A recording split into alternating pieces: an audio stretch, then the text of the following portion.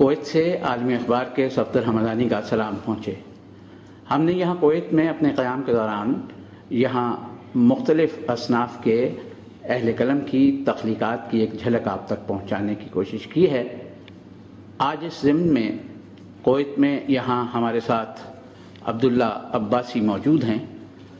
عبداللہ عباسی کا نام یوں تو نشریات کی دنیا میں یہاں کویت کے لوگوں کے لیے کوئی اجنبی نام نہیں ہے۔ کیونکہ ریڈیو کویت کی اردو سروس کی مانوس تر آوازوں میں سے ایک مانوس آواز ہے۔ لیکن اردو زبان اور اردو ادب کی آیا ترقی اور ترویج کے لیے جو لوگ کام کر رہے ہیں، ان میں صفحہ اول کے لوگوں میں عبداللہ عباسی کا شمار ہوتا ہے۔ آج ہم عالمی اخبار کے قارئین، سامعین اور ناظرین کے لیے عبداللہ عباسی کی ایک نظم اور ایک غزل پیش کر رہے ہیں۔ عبداللہ عباسی۔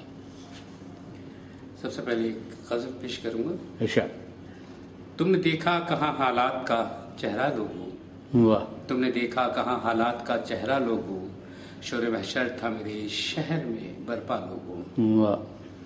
بس ذرا غور سے ایک بار ہی پڑھنا لوگوں بس ذرا غور سے ایک بار ہی پڑھنا لوگوں ایسا بھی دشوار نہیں مجھ کو سمجھنا لوگوں تھا سخن فہم نہ شاعر نہ کوئی دانشور۔ واہ۔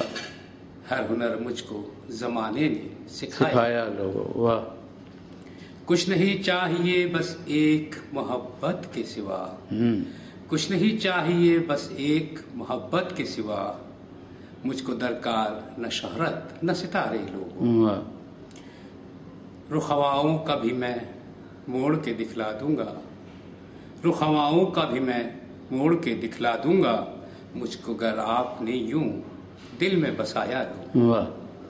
خود بنا لیتا ہوں میں دہر میں راہیں۔ خود بنا لیتا ہوں میں دہر میں راہیں۔ تم نے دیکھا نہیں کیا بہتا دریا واہ۔ ایک نظم پیش ہے۔ تنہائیاں جب تمہاری روح میں سرائیت کرنے لگی راتیں سیاہ چادر اوڑھے جب تم کو ڈرانے لگے۔ ان اندھیروں اور تنہائیوں سے دامن چھڑا کر، کبھی آنکھوں سے، کبھی آنکھوں سے خواب دیکھتے ہوئے، افق پر چمکتے ستاروں سے آنکھیں ملا کر، بھولی بسری یادوں کے سفر پر جب تم نکلو گی، اعتبار کرو جانا، ان یادوں کے سفر پہ میں بھی تمہارے ساتھ ہوں۔ بچپن سے جوانی تک ہر ایک پل کی یادوں میں تمہارے ساتھ ہوں۔ وہ باغات، آم، امرود، کٹارے اور خربوزے کے، جہاں زندگی کے کئی پل ہم نے ساتھ گزارے تھے۔ ایک انجانے موضوع پر ہم گھنٹوں باتیں کیا کرتے تھے۔ کبھی درخت پر چڑھنا، اترنا، پھر چوم کر جانا، تمہارا پکڑنا اور خوش ہونا ہمیں ہار کر بھی۔ بہت اچھا لگتا تھا۔ اعتبار کرو جانا اس سفر پر میں بھی تمہارے ساتھ ہوں۔ بہت شکریہ۔